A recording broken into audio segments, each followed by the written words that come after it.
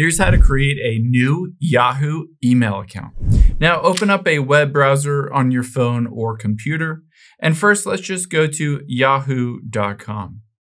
After you've done that, all you need to do is tap on sign in at the very top right.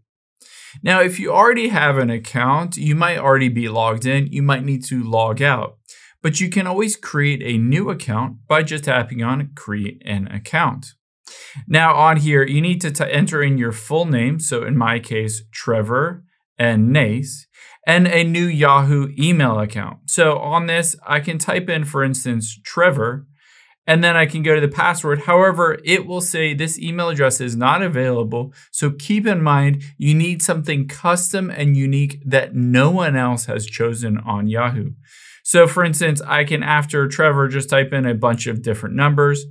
And then from there, it should have that green check mark indicating no one else has chosen that specific email.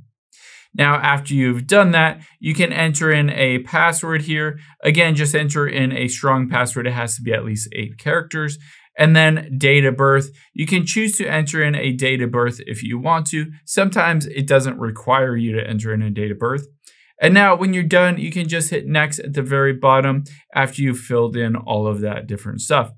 Now, keep in mind at the very bottom, you can use Gmail or My Email to create an account. So if you have an existing email account or email address, even if it's not a Yahoo email, you can still create a Yahoo account associated with a different email that is not a specific Yahoo email.